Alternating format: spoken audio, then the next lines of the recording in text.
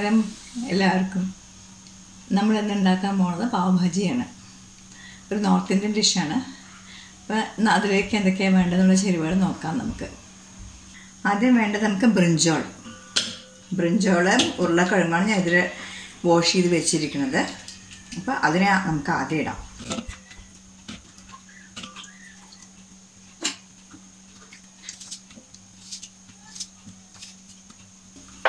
ഒരു വലുപ്പത്തിൽ മുറിച്ചാലും യാതൊരു കുഴപ്പമില്ല. കാരണം നമുക്കിത് നന്നായിട്ട് അങ്ങോട്ട് വേവിച്ച് വെന്ത ഉടയേണ്ടതാണ്. ഉടയ്ക്കണം നമുക്കതിനെ നന്നായിട്ട്. അതുകൊണ്ട് വലിയ പീസാണെങ്കിൽ യാതൊരു കുഴപ്പമില്ല ഒന്നും കൂടി വാഷ് ചെയ്യണം ഒരു മിനിറ്റ് ഇതിൽ നമ്മൾ ഇട്ടിരിക്കുന്നത് ഉരുളക്കിഴങ്ങും വഴുതിനങ്ങയുമാണ്. അതിൽ നമുക്ക് രണ്ട് ക്യാരറ്റ് എടുത്തിട്ടുണ്ട്. വഴുതിനങ്ങ ഞാൻ നാലെണ്ണം എടുത്തിരിക്കുന്നത്. അല്ല സോറി അഞ്ചെണ്ണം. അഞ്ച് വഴുതിനങ്ങ എടുത്തിട്ടുണ്ട്. ഉരുളക്കിഴങ്ങ് നാലെണ്ണം എടുത്തിട്ടുണ്ട്. മീഡിയം സൈസ് എത്ര പോകുന്ന ഉരുളക്കിഴങ്ങ്? ഒരു ഒരുപാട് വലുതുമല്ല ഒരുപാട് ചെറുത് മീഡിയം സൈസ് ആയിട്ടുള്ള നാല് അഞ്ച് ഉരുളക്കിഴങ്ങ് അഞ്ച് വഴുതിനങ്ങ. വഴുതിനങ്ങയും മീഡിയം സൈസായിരുന്നു രണ്ട് ക്യാരറ്റ് രണ്ട് ക്യാരറ്റ് കുറച്ച് വലുപ്പത്തിലുള്ള ക്യാരറ്റാണ് എടുത്തിരിക്കുന്നത്. ഇനി ഇടേണ്ടത് പീസ് ഞാനിവിടെ ഇട്ടിരിക്കുന്നത് പച്ചപ്പട്ടാണിയാണ്. കാണാമല്ലോ? പച്ചപ്പട്ടാണി. പച്ചപ്പട്ടാണി ഇല്ലെങ്കിൽ നമുക്ക് സാധാരണ നമ്മുടെ ഡ്രൈ ഇതുണ്ടല്ലോ പീസ്. അത് തലേ ദിവസം വെള്ളത്തിൽ ഇട്ടിട്ട് കുതിർത്തണം. അഞ്ചാറ് മണിക്കൂർ കുതിർത്തിട്ട് നമുക്കിതിൽ ഇതിൽ കൂടെ ആഡ് ചെയ്യാം. കോളിഫ്ലവർ ഞാനിവിടെ നല്ല തിളച്ച വെള്ളത്തിൽ ഉപ്പും മഞ്ഞൾപ്പൊടിയൊക്കെ ഇട്ടിട്ട് വൃത്തിയാക്കി വെച്ചതാണ്.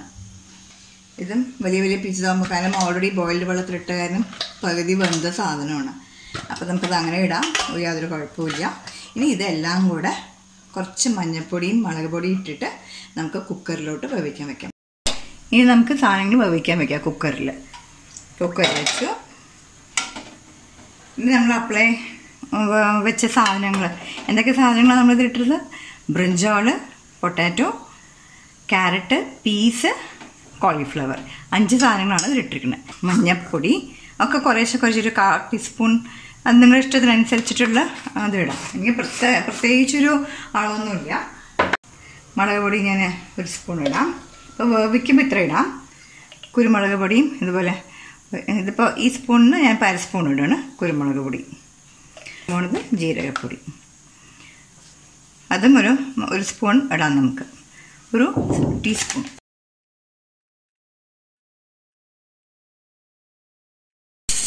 ഇപ്പോൾ ശബ്ദം വന്നു. ഫസ്റ്റ് വിസിൽ ഇതാണ് എന്റെ കുക്കറിന്റെ വിസിൽ. ഇത് വന്നതിന് ശേഷം ഞാൻ ഗ്യാസ് സിമ്മിയാണ് ഗ്യാസ് സിമ്മാക്കുവാണ് ഞാൻ. ഇനി സിം ഫ്ലെയിമിൽ ടെൻ മിനിറ്റ്സ് വെച്ച് കഴിഞ്ഞ ശേഷം നമുക്ക് ഗ്യാസ് ഓഫ് ചെയ്യാം. അപ്പം നമ്മൾ വേവിച്ച് വെച്ചിട്ടുണ്ട്. അപ്പോൾ വേവിച്ചത് പത്ത് മിനിറ്റ് നമ്മൾ സിമ്മാക്കി വെച്ചുള്ള ഗ്യാസ്. ഇനി നമുക്ക് അരപ്പ്. ഇതെല്ലാം നമ്മൾ പച്ചക്കാണ് അരക്കണത്. പച്ചക്ക പറയുമ്പോൾ ഉള്ളി സവാള നാലിനും എടുത്തിട്ടുണ്ട് തക്കാളി നാലിനും എടുത്തിട്ടുണ്ട്. ഒരു കഷ്ണം ഇത്തിരി വലിയ ഇഞ്ചി കുറച്ചും കൂടെ വെളുത്തുള്ളി ഉണ്ടെങ്കിൽ നന്നായിരിക്കും. പക്ഷേ എന്റെ അടുത്ത് ഇത്രയേ ഉള്ളൂ ഉണ്ടായിരുന്നുള്ളൂ. അതുകൊണ്ടാണ് ഞാൻ ഇത്ര മാത്രം എടുത്ത് ഒരു കുറച്ചും കൂടി ഒരു അഞ്ചാറെണ്ണം കൂടി ഉണ്ടായിരുന്നെന്ന് വെച്ചാൽ കുറച്ചും കൂടി നന്നായിരുന്നു. പക്ഷേ കുഴപ്പമില്ല. ഇത്. പിന്നെ കുറച്ച് പുതിന ഇല കുറച്ച് മല്ലിയില. ഇത് എല്ലാം കൂടി ഇനി നമ്മൾ മുറിച്ച് ഞാൻ പച്ചക്ക അരയ്ക്കാൻ പോവാണ്. അപ്പോൾ നമ്മളിതെല്ലാം മുറിച്ച് വെച്ചു. അപ്പോഴേ കാണിച്ചു തന്ന സാധനങ്ങളൊക്കെ അതെല്ലാം മുറിച്ച് വെച്ച് ഇനി ഇതിൽ നമുക്ക് കുറച്ച് പെരിഞ്ചീരകം. സേ ഒരു ഒരു സ്പൂൺ അല്ല ഒരു സ്പൂൺ രണ്ട് സ്പൂൺ പെരുജീരം പെരുജീരം നല്ല മണമാണ് നല്ല ഡൈജഷന് നല്ല സാധനമാണല്ലോ. അപ്പോൾ അത്. പിന്നെ ഇത് മല്ലിപ്പൊടി. മല്ലിപ്പൊടി നമുക്ക് നാല് സ്പൂൺ ഇടാം. ടീസ്പൂണാണ്. ടീസ്പൂൺ ഇടാം. പിന്നെ കുറച്ച് ഇത് ഉലുവപ്പൊടിയാണ്. ഒരു നുള്ള ഉലുവപ്പൊടി. ജാസ്തി ഇട്ടാൽ അത് കഷ്ടു പിന്നെ രണ്ട് മണി ക്ലോവ്സ് ക്ലോവ്സും ഇതും കൂടെ മിക്സ് ചെയ്തതാണ്. അപ്പോൾ രണ്ട് മണി ഒരു രണ്ട് മൂന്ന് മണി ക്ലോവ്സും കാർഡമും. പട്ട പട്ട വാങ്ങി പട്ടാന്റെ അടുത്ത് പട്ടയുണ്ട്. ഒന്ന് രണ്ട് പീസേ ഉള്ളൂ. കുഞ്ഞു കുഞ്ഞു പീസൊക്കെ ഓക്കെ അത് വിടാം ഇനി നമുക്ക് ഇത് ഞാൻ ഇനി അരച്ചിട്ട് വരാം. ഇതാണ് നമ്മുടെ അരപ്പ്. അരപ്പ് നല്ല പേസ്റ്റായിട്ട് വന്നിട്ടുണ്ട്. വെജിറ്റബിൾസൊക്കെ ബോയിൽ ആയിയോ നോക്കാം. നന്നായി വന്നിട്ടുണ്ടോ എന്ന് നോക്കാം.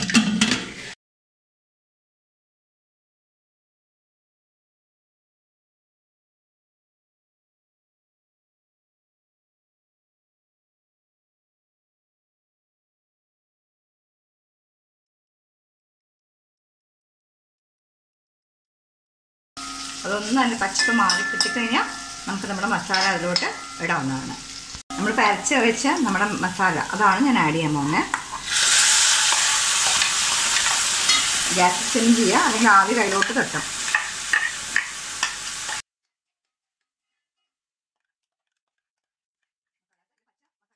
പച്ചപ്പൊക്കെ മാറി മസാല നല്ല മൂത്ത് വരാം അതുവരെ നമ്മളിങ്ങനെ ഇളക്കിക്കൊണ്ടേയിരിക്കുക ഈ ഇത് ഈ മസാല ഇട്ട് കഴിഞ്ഞാൽ കുറച്ച് നമുക്ക് നമ്മൾ ഓൾറെഡി ഇട്ടതാണ് പച്ചക്കറിയിലൊക്കെ എന്നാലും ഈ മസാലയിൽ കുറച്ച് മഞ്ഞൾപ്പൊടി നമ്മൾ അതിൽ മുളക് പൊടിയൊക്കെ ഇട്ടിരുന്നു.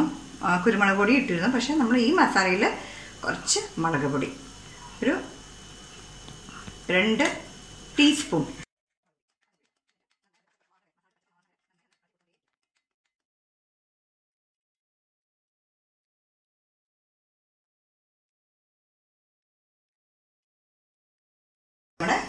വെജിറ്റബിൾ പേസ്റ്റ് ഇതിലോട്ട് ഇടാം. ഇത് എല്ലാവരും എല്ലാം കൂടെ നന്നായി തിളച്ച് വരണം. ഇത് ഇട്ട് കഴിഞ്ഞ ശേഷം ഞാൻ ഫ്ലെയിം ഹൈ ആക്കാം. അപ്പോൾ ഞാനിത് നന്നായി എല്ലാം മിക്സ് ചെയ്തു. ഇനി നന്നായി തിളച്ച് മസാലയും ഇതും കൂടി ഒന്ന് നന്ന- നന്നായിട്ടൊന്ന് സമ്മിശ്രിതം ആവണം. അപ്പോൾ ഇനി നമുക്കിതിലോട്ട് ഉപ്പും കൂടി ഇടാം. ഉപ്പിടണം പാവഭാജി മസാല ഇടണം. അപ്പോൾ ഞാനിപ്പോൾ ഗ്യാസ് ഇത്ര നേരം ഞാനിതൊന്ന് ഒതുക്കി കഴിഞ്ഞ ശേഷം ഗ്യാസ് ഹൈലാക്കിയിരുന്നു. ഇപ്പോൾ ഗ്യാസ് ഹൈയിൽ തന്നെയാണ്. ഇനി ഞാൻ പാവഭാജി മസാല ഞാൻ ഈ ബേക്കേഴ്സിന്റെ പാവഭാജി മസാലയാണ് എടുക്കുന്നത് ഇവിടെ. ഒരു രണ്ട് ടേബിൾ സ്പൂൺ മസാല ഇടാം നമുക്ക്.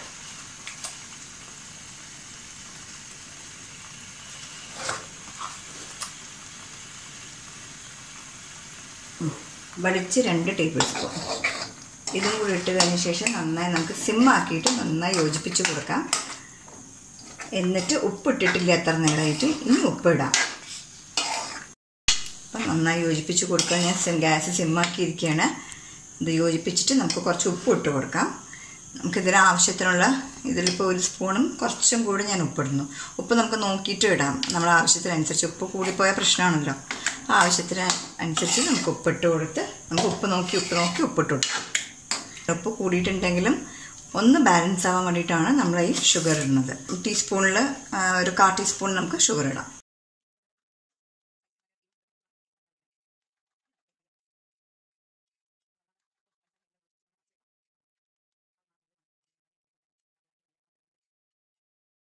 ഇനി ഞാൻ ഒരു ആഡ് ചെയ്യാൻ പോണ ഒരു ഇൻഗ്രീഡിയന്റ് ഓപ്ഷനിലാണ് വേണമെന്ന് നിർബന്ധമൊന്നുമില്ല. പക്ഷെ അതുണ്ടെങ്കിൽ ഒരു നോർത്ത് ഇന്ത്യൻ ഫ്ലേവർ കിട്ടും. ആംചൂർ പൗഡർ ആംചൂർ പൗഡർ നമുക്ക് കുറച്ച് പറഞ്ഞാൽ ഒരു ഫ്ലേവറിന് വേണ്ടി മാത്രം. ഇപ്പം ഈ സ്പൂണിൽ കാണിച്ചു തരാം. ഒരു കാ സ്പൂണ് കാ സ്പൂൺ മതി. ജസ്റ്റ് ഒരു ഫ്ലേവറിന് അത് ഓപ്ഷണൽ മാത്രമാണ്. തികച്ച ഓപ്ഷനാണ് അപ്പോൾ ഗ്യാസ് ഇനി ഞാൻ സിമ്മാക്കുകയാണ് നമുക്ക് ഗ്യാസ് കൂട്ടിയും കുറയ്ക്കും. നിങ്ങൾക്ക് ഫ്ലെയിം തെറിക്കണനുസരിച്ച് കൂട്ടിയും കുറയ്ക്കുകയൊക്കെ ചെയ്യാം കേട്ടോ. ഞാൻ പോണത് ഇവിടെ മല്ലിയില.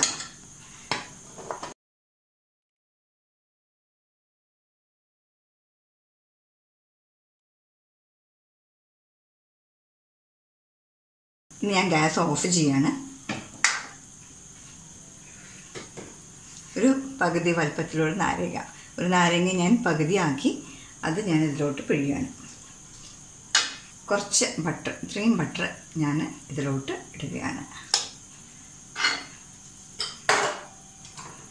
നമ്മുടെ പാവഭാജി ഈസ് റെഡി ഇപ്പോൾ നമ്മുടെ പാവാജി മസാല റെഡിയായി. ഇനി നമുക്ക് പാവാണ് റെഡിയാക്കേണ്ടത് അല്ലേ? അപ്പോൾ പാവ് നമ്മൾ പുറത്തുനിന്ന് റെഡിമെയ്ഡായിട്ടാണ് മേടിച്ചിരിക്കുന്നത്. ഇപ്പോൾ പാവും ഇത് ബോംബെയിൽ പാവ് കിട്ടുന്ന പോലെ നമ്മളിവിടെയും കേരളയിലും പാവ് ഇതുപോലെ റെഡിമെയ്ഡായിട്ട് കിട്ടുന്നുണ്ട്. അപ്പോൾ ഇതിന് നമുക്കൊരു സ്ലൈസ് കട്ട് ചെയ്യാം.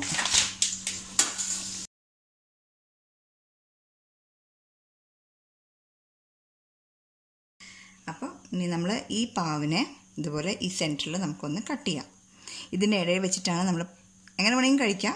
പക്ഷേ സ്വതവേ നമുക്ക് പാവഭാജി ഇവിടെ പുറത്തൊക്കെ കിട്ടുന്നത് നമുക്ക് ബോംബെയിലൊക്കെ കിട്ടുന്ന പാവ് എങ്ങനെയാണെന്ന് വെച്ചാൽ ഇത് പറഞ്ഞ് ഇതിനെ നമുക്ക് ഒന്ന് ചൂടാക്കി വെക്കണം. നമുക്ക് റോസ്റ്റ് ചെയ്തെടുക്കാനുള്ള കല്ല് വെച്ചു ഈ പാവിൽ കുറച്ച് ബട്ടർ ഇടാം. എന്റെ ഹോം മെയ്ഡ് ബട്ടറാണ്